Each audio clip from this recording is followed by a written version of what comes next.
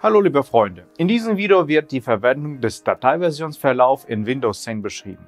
Der Dateiversionsverlauf ist wahrscheinlich die Hauptfunktion zum Sichern und Wiederherstellen von Daten für eine bestimmte Version des Betriebssystems. Trotz des Namens ist der Dateiversionsverlauf nicht nur eine Möglichkeit, eine frühe Version von Dateien wiederherzustellen, sondern ein voll ausgestattetes Dat Datensicherungsprogramm. Liebe Freunde, wenn Sie gelöschte Daten wiederherstellen wollen, verwenden Sie die Programme der Firma Hetman Software. Folgen Sie dem Link aus der Beschreibung, laden Sie das Programm kostenlos herunter und installieren Sie es. Führen Sie dann die Festplattenanalyse durch. Nach der Analyse zeigt das Dienstprogramm die für die Wiederherstellung verfügbaren Dateien an und Sie können sie rückgängig machen. Unser Blog bietet kurze Tutorials zur Lösung von Problemen, die Windows-Benutzer haben. Auf unserem Kanal und im Blog finden Sie eine Lösung für jedes Problem. Beginnend mit der Installation des Systems bis zur Remote-Verwaltung und Verbinden mobiler Geräte. Unsere Experten beantworten gerne Ihre Fragen in den Kommentaren zu Videos und Artikeln. Im Gegensatz zu umfassenden Sicherungswerkzeugen ist das Aktivieren des Dateiversionsverlaufs sehr einfach. Schließen Sie zunächst die externe Festplatte an den PC an. Sie können ein USB-Laufwerk oder eine Speicherkarte anschließen. Wenn Sie Dateiversionsverlauf nur für äh, kleine Ordner und Dateien aktivieren müssen und Sie können auch einen Netzwerkrekorder verwenden, falls Sie einen haben. Zum Beispiel werde ich ein 16 GB Laufwerk verwenden. Nachdem wir das Menü Start geklickt haben, gehen wir zu Einstellungen Update und Sicherheit Archivierungsdienst. Klicken Sie im nächsten Fenster auf Datenträger hinzufügen und wählen Sie das gewünschte Laufwerk aus. In meinem Fall handelt es sich um ein USB-Laufwerk. Danach wird die Dateiverlaufsfunktion aktiviert und Windows sichert Ihre Dateien automatisch auf diesem Laufwerk wenn es mit dem Computer verbunden ist. Um den Verlauf der Dateien zu konfigurieren, klicken Sie auf Weitere Optionen. Standardmäßig ist festgelegt, dass die Dateien jede Stunde gesichert werden und der Speicherzeitraum für diese Dateien immer ist. Diese Parameter können je nach Wunsch geändert werden. Reservieren Sie beispielsweise alle drei Stunden und speichern Sie ein Jahr. Sie können den Start der Dateisicherung auch im Moment erzwingen, indem Sie auf die Schaltfläche Daten jetzt sichern klicken. Der Dateiversionsverlauf erstellt nur Kopien von Dateien, die in den Ordnern Bilder, Musik, Videodokumente und Desktop gespeichert sind, sowie Dateien von OneDrive, die offline auf Ihrem Computer verfügbar sind.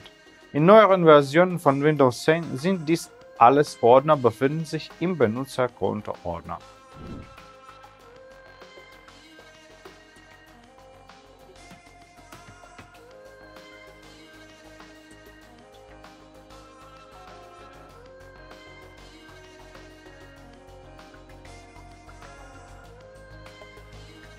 Um einen weiteren Ordner hinzufügen, klicken Sie auf die Schaltfläche Hinzufügen, wählen Sie aus, was wir benötigen und klicken Sie auf die Schaltfläche diesen Ordner auswählen.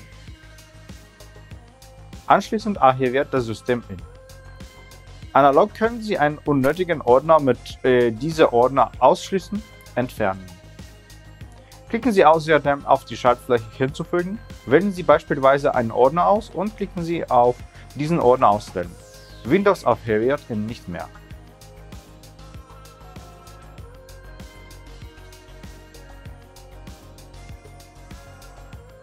Wenn Sie das Laufwerk ändern möchten, auf dem der Dateiversionsverlauf gespeichert wird, klicken Sie auf Verwendung des Laufwerks beenden. Die Daten von diesem Laufwerk werden nicht gelöscht. Wählen Sie danach wie zu Beginn dieses Videos das gewünschte Laufwerk aus dies liegt daran, dass Windows jeweils nur mit einer Festplatte für den Dateiversionsverlauf arbeiten kann.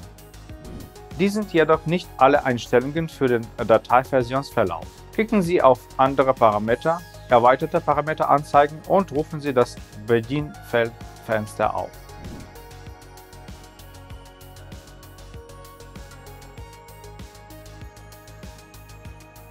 Klicken Sie danach auf Erweiterte Optionen im nächsten Einstellungsfenster können wir auch die Einstellungen zum Speichern von Dateien ändern. Bereinigen Sie alte Versionen von Dateien und Ordner, die älter als 1, 3, 6 Monate und so sind. Laden Sie andere Computer in der Gruppe, falls Sie einer sind, ein, einen Date Dateiverlauf auf Ihrer Festplatte zu erstellen und öffnen Sie außerdem Ereignisprotokolle des Dateiverlaufs, um die letzten Ereignisse oder Fälle anzuzeigen. Schauen wir uns nun an, wie Dateien mit Hilfe des Dateiversionsverlaufs wiederhergestellt werden. Ich habe zum Beispiel versendlich einen Ordner gelöscht, in dem sich die für mich wichtige Dateien befindet. Und zwar mit den Tasten Shift plus Delete. Um es wiederherzustellen, gehen Sie zu Start, Einstellungen, Update und Sicherheit, Sicherungsdienst. Klicken Sie auf Andere Einstellungen und klicken Sie im Abschnitt Verwandte Einstellungen auf Dateien aus der aktuellen Sicherung wiederherstellen. Wählen Sie im nächsten Fenster die Ordner oder Dateien aus, die Sie benötigen. Sie können auch alle früheren Versionen dieser Datei anzeigen. Zur Demonstration habe ich diese Datei dreimal geändert und nach jeder Änderung eine erzwungene Archivierung durchgeführt.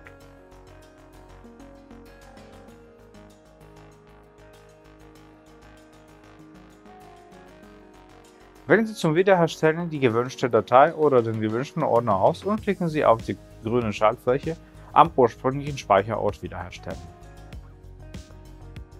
Und nach dem Kopieren werden alle Daten an dem Ort wiederhergestellt, an dem sie vor dem Löschen gespeichert werden.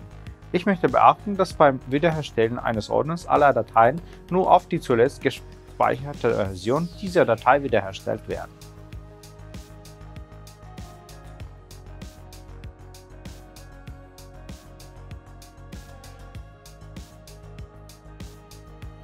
Sie können das Fenster zur Wiederherstellung des Dateiversionsverlaufs auch über Systemsteuerung, Dateiversionsverlauf und persönliche Dateien wiederherstellen öffnen.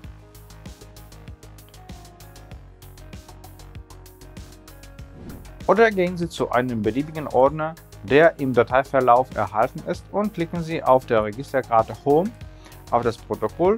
Dies ist der Dateiverlauf. Wenn euch dieses Video gefallen hat, abonnieren Sie den Kanal und Daumen hoch. Vielen Dank für Ihre Aufmerksamkeit, viel Glück und Tschüss.